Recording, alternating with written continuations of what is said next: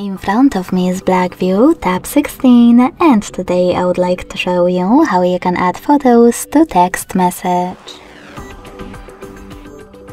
Begin by opening Messages app and selecting or creating a chat.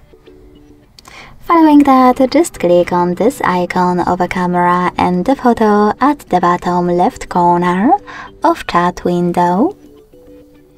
And if your photos are recent, click on them right away.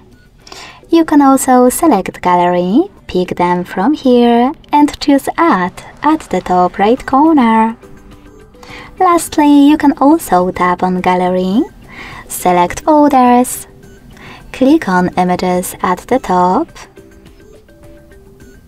select one of those apps and look for your photos over there or click on those three lines at the top left corner and pick one of those sources.